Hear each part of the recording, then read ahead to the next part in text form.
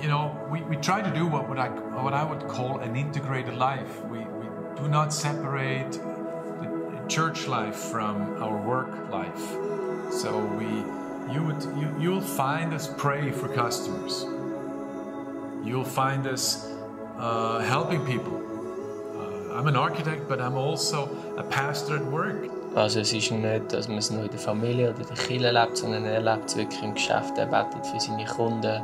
We've seen so many people that were so thankful just for us to share the gospel, just for for us to be there to listen to them. We we've seen so many people who were kind of waiting. Wir wollen ähm, um, die gute Botschaft äh, weiterbringen, in unserem Umfeld, wo wir sind. We have this deep conviction that God really loves the world. He really does. He loves people.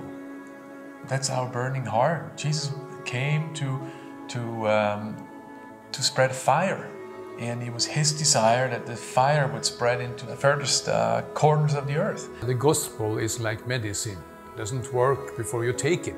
It's the answer for for for everything, for problems, for loneliness, for um, for self-centeredness, and all of that.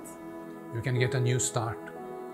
All the bad things you did can be forgiven. You can even bury it and continually get new start from God. everywhere you are is an opportunity to share the gospel. It's not about me. That becomes more clear. So, a few months ago, I started another construction, and I had uh, some Portuguese guys, and they already from the beginning told me, Alex, why are you so different? What's going on with you? Your culture is different. You're serving us. You're not just demanding us. You're here for us. You're listening to us. And I kept smiling and thanking them for the comment. And I could have said, I'm a funny Italian. I decided to not do so. And I said simply, Jesus lives in me. They said, You're to tell me more about him. I said, Sure, I'm here with you.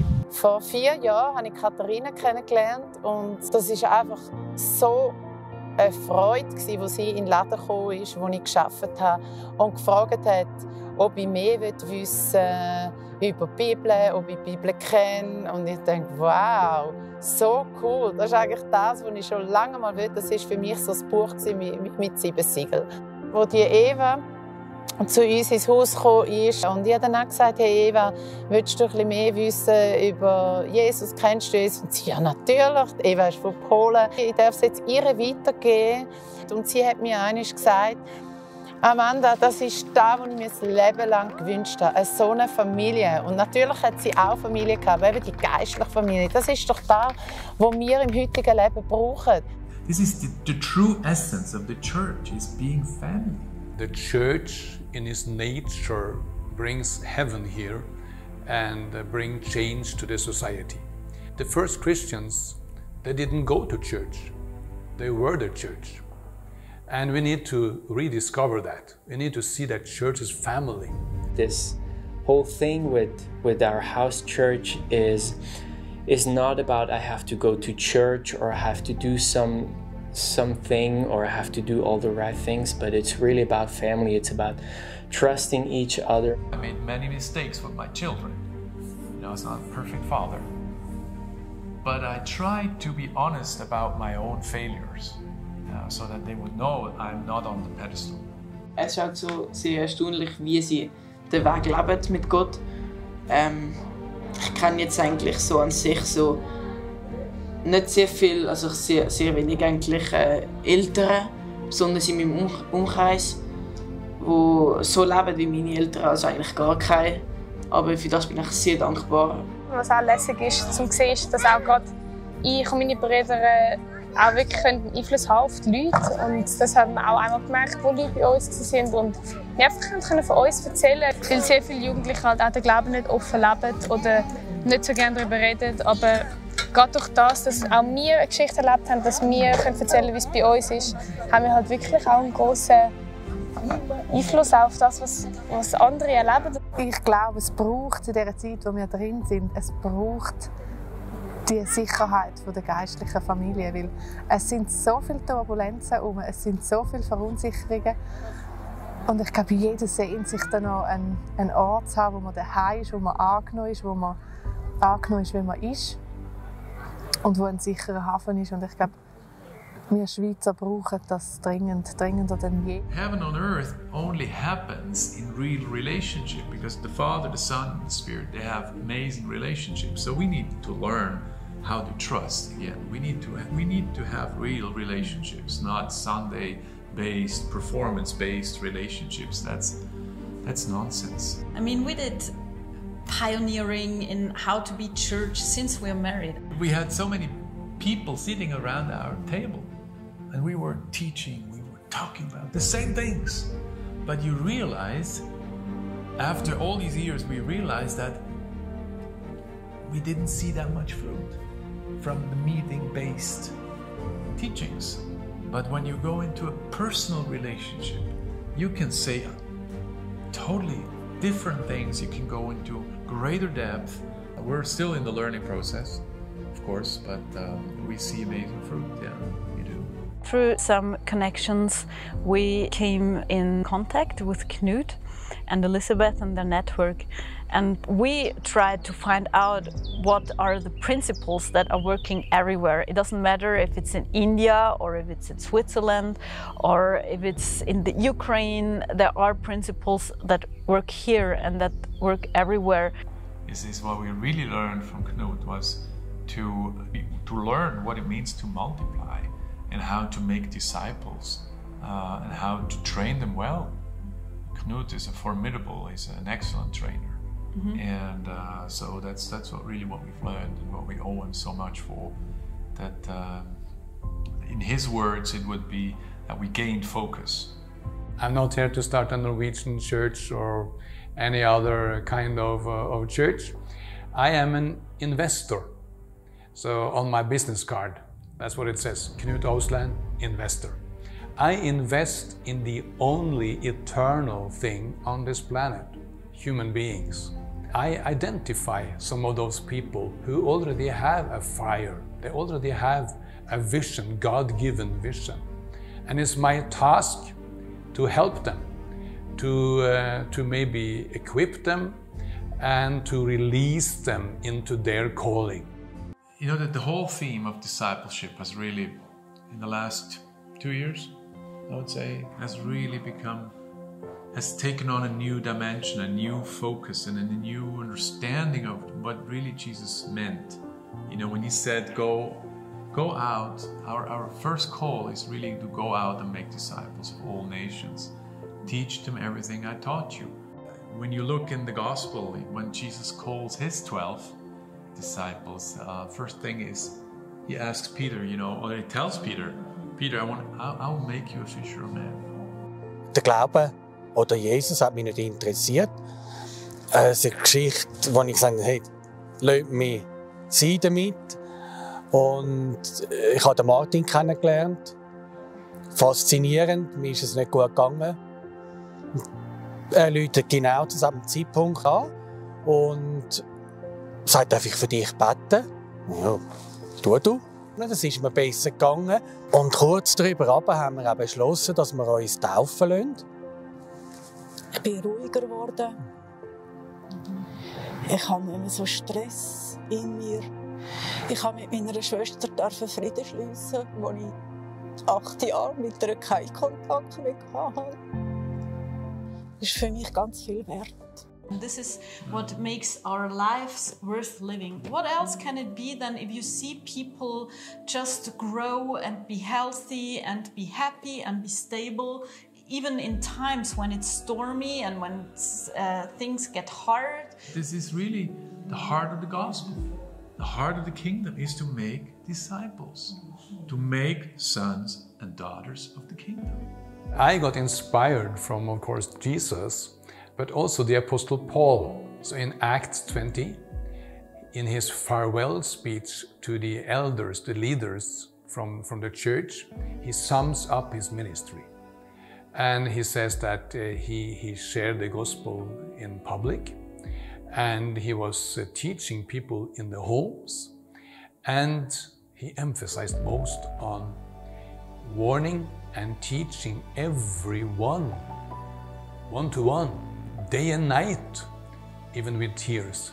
And that's the, the, the one-to-one thing that we we uh, we have uh, shifted our focus on.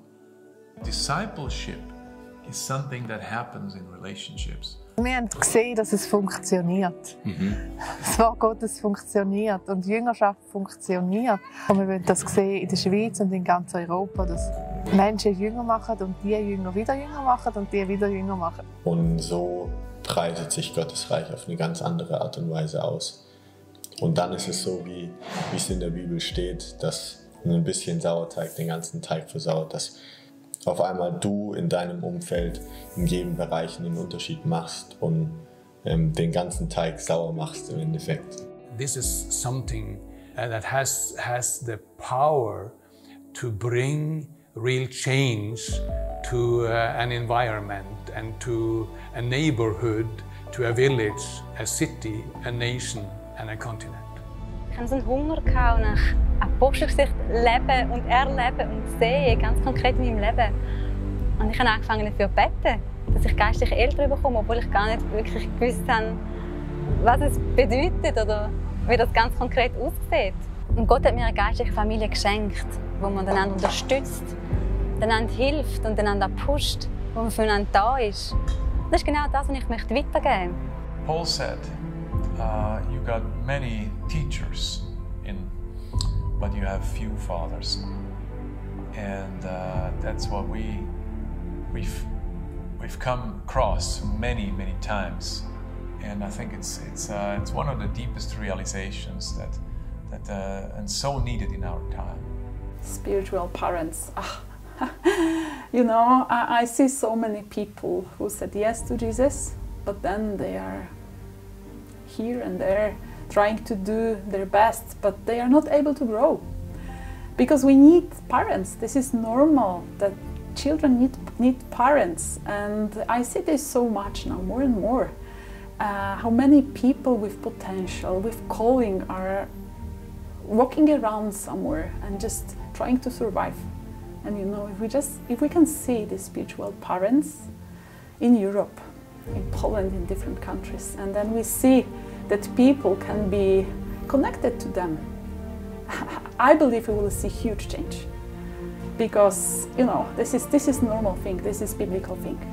Parents and also apostle, prophets, evangelists who are gifts for the church. So I, I'm so thankful that I have my spiritual parents and they are really investing in me, they love me, uh, they show me things, they correct me if it's needed, but every time they are doing this because they love me. It's my great prayer for spiritual parents in Europe uh, that we will see more of them. And I want to grow uh, because I want to have these many spiritual children. Because I believe that this is what I can invest here. I can invest in, in Europe. You know, Jesus said, when the storm hits, it's going to be revealed on what people's lives have been built on. So, you know, it's really good to be there when the storm hits with people. And uh, it's the moment where you can really drop the seed, where you really can show, demonstrate the love of the Father, the grace of the Son, and the fellowship of the Spirit. And you can really release God into the circumstance. But if, you, if you're too far away from people, you will not be able to do that. And I think that's what Knut, of course, also has helped us a lot. What, what this really means and, and how we lay foundations in people's lives, how we what's it, what's what's first. You know, it, I think we need to have a bit of a strategy. wenn, wenn jemand Neues dazukommt, ähm, wir, wir wissen wie die Schritte, wo, wo müssen wir anfangen? Was sind die ersten Steps? Wir, wir wissen bisschen, was, was, brauchen sie am Anfang, dass sie auch wirklich können wachsen können. Yeah, I think since Knut and Elizabeth were here, we really experienced that the, the word is so important and uh, so much more important maybe than we thought before. When we started off, we mostly thought people would be interested in what we think or our experience. And we've we've changed so much to just know the word of God and just bring people the word. We are not so important, but if we know the word really well, we can come up with the word and the word works in them and that's that's amazing. We don't need to be a master to have so much knowledge to be able to, to start sharing. So so you, you can have one thing, you've learned one thing and you can start sharing. Da braucht es nicht im wahrsten Sinne des Wortes, wie Sie alle kennen, der Kirche, wo man reingehen und, und beten und den Priester zulassen. Wir können das alle auch. Und das ist am besten, wenn wir es weitergehen. It's very easy to think this is more difficult in my country to make disciples. So it was also my story because uh, when I heard uh, those stories from India, from Norway, I thought, oh, this is easier in Norway. This is easier in India. But later I saw in the Bible that's, that's a lie because uh, harvest is ready and just workers are needed. I need to change to see the harvest. I see that Europe will again be transformed by the power of the gospel. When church members become disciples, because church members don't change society, disciples do disciples, they have in themselves the power, the, the love, the values that can transform a society from down and up. And I believe that when we get back to our roots and um, come into a close relationship with God and let Him lead us and guide us, and uh, we get the fire of the Holy Spirit, we will share the gospel, we will spread this, and we will see churches multiplied here, and we will see all of Europe impacted with heavenly values.